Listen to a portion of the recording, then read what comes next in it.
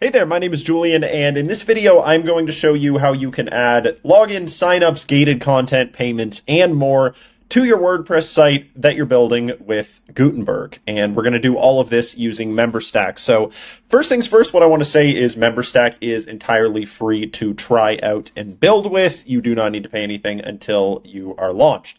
So anyways, here we are, and what we have is a WordPress project with Gutenberg installed. We have a blank homepage, a blank gated page that we're going to use for this tutorial, and uh, that is just about it. So the first thing that you're going to want to do is go to plugins, click add new plugin, and then you're going to want to search for MemberStack. Just like that, hit enter, and as we can see, we have MemberStack right there. So let's go ahead and hit activate on that once it's done installing and go to our MemberStack tab over here. So the first thing you're going to need to do is add in your MemberStack app ID. I already did that during testing, but anyways, let's go ahead and I'm going to show you how to get that right now. So once you've created an account and you've created an app with MemberStack, you are going to be faced with this screen. If you don't see this screen, simply hit get started right up here in the left sidebar and you will be able to copy your MemberStack app ID. All right, so now let's head on over into the plugin and paste that in and hit save. So now that you've got that, the next thing you're going to want to do is to enable the Gutenberg add-on. So go to add-ons, find Gutenberg right here, which uh, the Gutenberg integration is actually by default always going to work with MemberStack. So uh, you shouldn't even need to install anything beforehand. Just go ahead, hit this check, hit save changes, and it will let you know that you now have the Gutenberg integration added on. So the next thing that I want to show you super quick is if you're a fan of shortcodes, then right over here in this shortcodes tab, you can find a whole bunch of different shortcodes for login forms, sign up forms, modals, protected content, member data, and logout button, all which have some of their own options. So if you're into short codes, feel free to use those. So the next thing we're going to do is head over to pages and I want to make it so that people can sign up and log in over here on our homepage. So let's just go right over here and open Gutenberg and then we are going to add our MemberStack blocks. So as you can see here, we have member MemberStack signup form. Simply search MemberStack. Um, there are going to be more of these added as time goes on. That being said, regardless of whether or not there is a block already enabled, you can still work with MemberStack. I'm going to show you that in just a minute. So first things first, let's go ahead and create a sign up form. So as we can see here, we now have this sign up form and it is working right out of the gate. So we have a couple of options here though. First things first, we can set a redirect URL after signup. We can also set that in the MemberStack dashboard on the plans page and just have it so let's say any member by default will go to the success page. And then if you have different plans, which we're not going to talk about plans in this video, although I will introduce them a little bit, you can set redirects based on that. However, this right here allows you to essentially override those redirects and add whatever it is that you want for anyone who signs up via this form. You can also add the plan ID. Like I said, I'm not going to get much into that in this video. You can change the text here. Let's say to say create an account and you can also enable passwordless signup, which essentially makes it so instead of an email and a password, they enter their email, they click to create an account, and it sends them a code to their email, which they can use to authenticate themselves. We're going to disable that for now, but we are going to enable social signup. And as you can see here, we've got Google and GitHub already in the Gutenberg integration. MemberStack has Facebook, Dribbble, Spotify, all sorts of different things. And uh, Google is actually working right out of the gate. So um, you don't even need to create a Google developer account or anything like that. Simply hit show Google sign up and Google sign up will work on your site. So then we have a couple of different styling options that we can choose. We can choose from a couple of different themes. We can set, let's say, the text color of the labels to whatever we want it to. I'm going to go ahead and make the button color black. We can change all of these different things, and we can also add additional CSS classes to it. And along with that, as you can do with uh, pretty much anything in Gutenberg, you can just edit it as HTML and change whatever you want, add any classes. So I'm going to go ahead and hit edit visually. So the next thing that I want to do is test this out and see if it is all working. So let's go ahead and save this right now. And then we're going to head over to our page and see what it looks like. Okay, so as we can see over here, we have our page. We have this little test mode thing from MemberStack, which we can use to see we're logged out. We can use to see any MemberStack attributes that we have on the page, and we can just use it for overall testing and making sure everything works. So let's go ahead and create an account. Let's just enter some random made up email for testing purposes. Same thing with a password and hit create an account.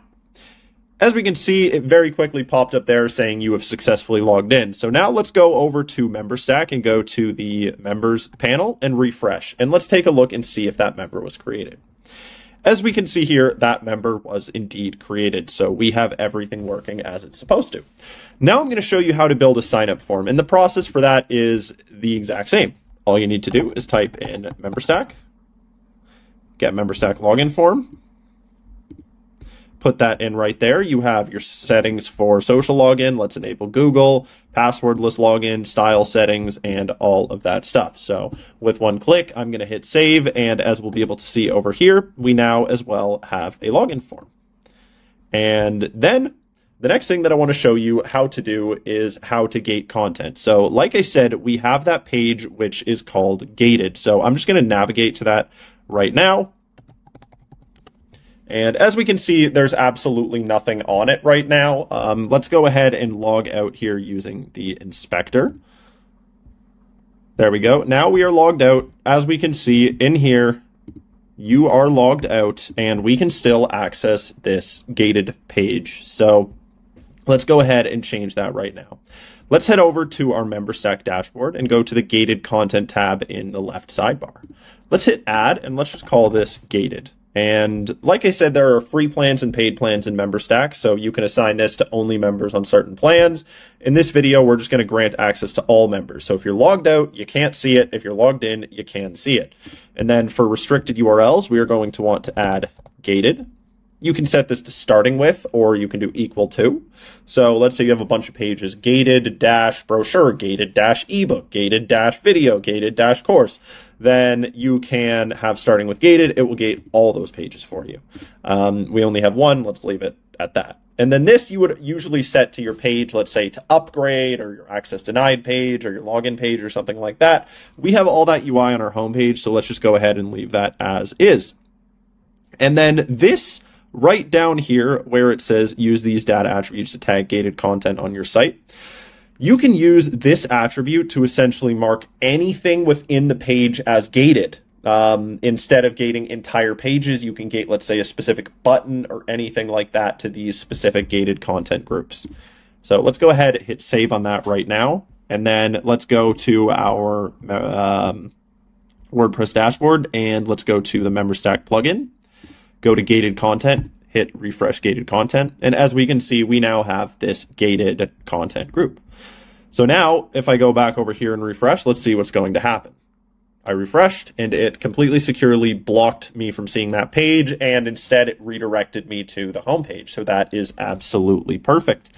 Now let's go ahead and create an account again, just like that, and hit create an account. So now this signed me up. Now I haven't set a redirect yet, but if I did, it could have taken me straight to the gated page.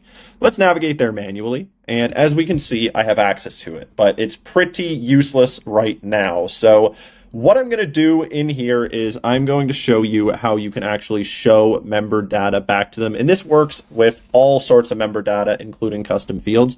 In this video, I'm going to show you how to do it using or with an email. So it would say welcome back and then the user's email. So let's go to pages over here. Let's go to gated and hit edit. And then right here, let's go ahead and just add some, let's say a heading. Let's say welcome back member. So if in this case there was no email set, it would just say member. Let's go ahead and hit edit as HTML. As we can see over here, we have this H2, and the way this works is by using a span. So let's go ahead and create a span, and then add data dash ms dash member equals email. Close off that span and then add the closing span right there after the word member. So let's go ahead and hit save on that and let's see what happens if we go back here. As we can see, that has updated to be our email. And let's say, for example, we're using custom fields as well. Let's change this to be first dash name. Let's go ahead and let's see, save that. And now I don't have a first name set. So if I go back over here, it's going to say welcome back member. But if I was to, let's say, as a member, update my profile or me as the admin, let's say I'm going to go in and add a first name on this member. Let's just say his name is Bob Saget and hit save. Oh, whoops, that was the wrong member. Sorry. This one we want to be Bob Saget.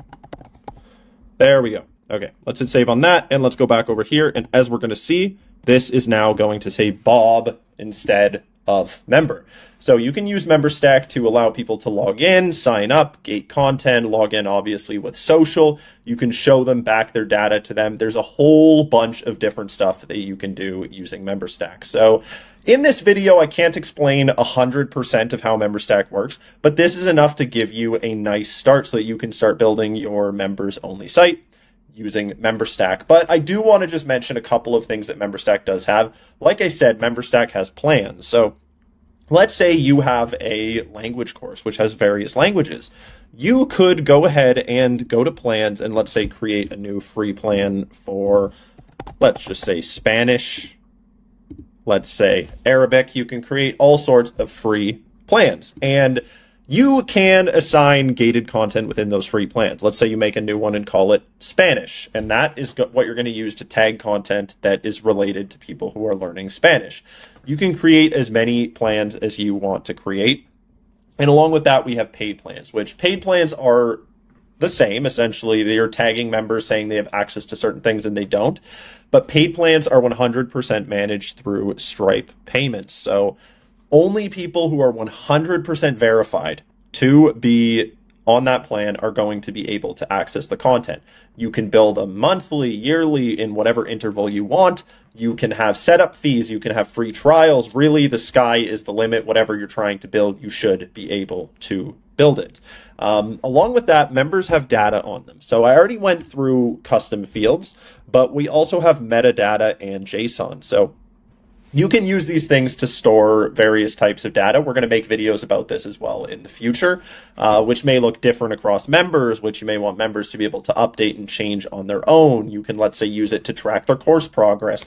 You can use it to track really whatever it is that you want. So, here at MemberStack, we are really excited about WordPress and we are new to the WordPress space. That being said, our philosophy as a company is that we want to build everything for you.